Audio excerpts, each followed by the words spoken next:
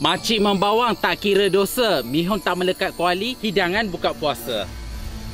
Apa yang special sangat pasal mihun goreng ni adalah dia tak akan melekat kuali dan tak akan putus-putus resepi ni. Alung dulu belajar dekat bandar masa Alung baru-baru mula bekerja kat bandar dapat keluarga kat Cina macam-macam masakan Cina Alung belajar dan biasalah bila kat kampung rindu pula keluarga angkat dekat bandar bila pula dekat uh, bandar rindu pula kat kampung. Ha manusia ni kan. Apa-apa pun kita sentiasa bersyukur dan juga banyak bersabar dalam bulan Ramadan ni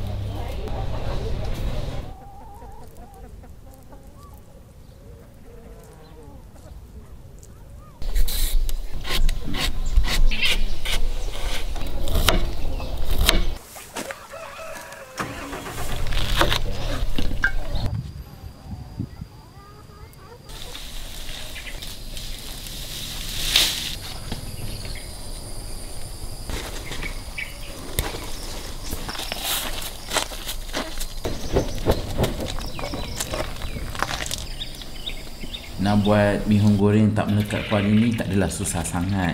Sangat-sangat mudah. Uh, proses pertama biasalah saya slice sedikit tauhu dan goreng dia ke tepi kan. Mihun pula saya rendam dengan air biasa je. Lepas tu air tu buanglah sebelum masak. Sebagai ganti telur saya gunakan tauhu saja hancurkan tauhu dan uh, tumis tauhu dulu. Lepas tu saya akan masukkan shiitake mushroom yang telah rendam dan slice lah. Shiitake mushroom ni saya guna yang kering Ha, so air dia tu ha, simpan air rendaman tu eh basuh dulu shiitake sebelum rendam. Air tu simpan nanti ada kita akan guna dia.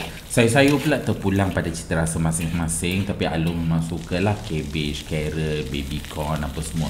Lepas tu baru masukkan mihun dan masukkan air rendaman shiitake tu. Lepas tu masukkan vegetarian oyster sauce masukkan kicap pekat dan kicap manis lepas tu kita mula gaul-gaul-gaul so basically Mihun ni dia akan masak dengan air tu slowly je. Ha, api yang kecil lah tapi saya guna ha, dapur arang. Api kecil ke besar ke kena masak juga. Last-last tu boleh tabur sedikit tauge. Lepas tu ha, dua kali kacau-kacau macam tu dah okey lah tu. Boleh letak daun bawang. Eh daun bawang pula bawang goreng. Lepas tu tahu goreng tadi tu slice dan juga sedikit hiasan dah siap dah pun.